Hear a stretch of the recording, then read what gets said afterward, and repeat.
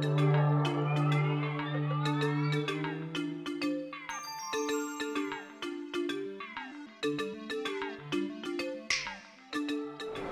my name is Matt Kirtley, and I'm a Senior Product Manager for Agilent Technologies.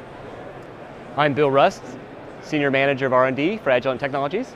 We're here today to tell you a little bit more about the Encore Multi-Span Liquid Handling System from Agilent Technologies. Our new liquid handler can address all types of formats found in a lab, starting with vials, tubes, or plates. The dual-span gantries allow for spanning of the pipetters in two directions, both across and from front to back allowing you to pipette out of more samples at any given time.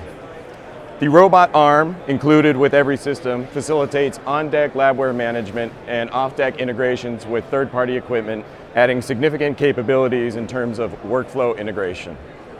The Encore control software features a complete 3D model of the instrument, which allows the software to know at any time where every uh, part of the instrument is while it's operating.